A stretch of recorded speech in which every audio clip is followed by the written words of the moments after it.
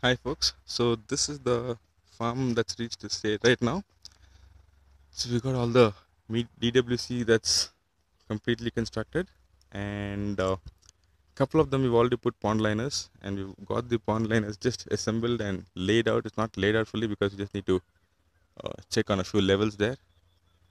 And in the meanwhile over here we've got the fish tank ready and we've just kept those three tanks over there which is for the filters.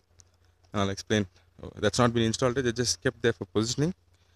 Over here we have the fish tank. And this is built on metal framework as you can see here wrapped with a pond liner.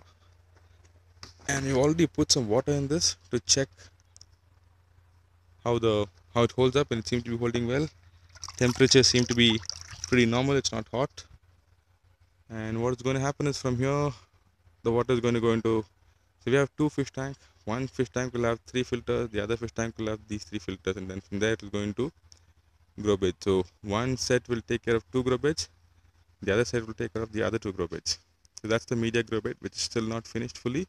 So some amount of refining is still required. These would be elevated elevated so there'll be a gradual flow. We'll have a radial swirl and a biofilter media beds. From the media beds, you can see that pipe that's temporarily kept to show the drain. So from the media bed, you're going to have a drain into the DWC, and from the DWC, water is going to go. We're going to creep a, a drain from there at that end, and from there, the water is going to go into the sump tank, which is over there. You can see that green color cover. So sump tanks over there, and the sump tank water goes straight back like this into the fish tank through this line and comes back into that over there so and we've also added a large layer of green netting on top and that's reduced the heat drastically. It's a lot better right now to stay here. So that's where the build is reached.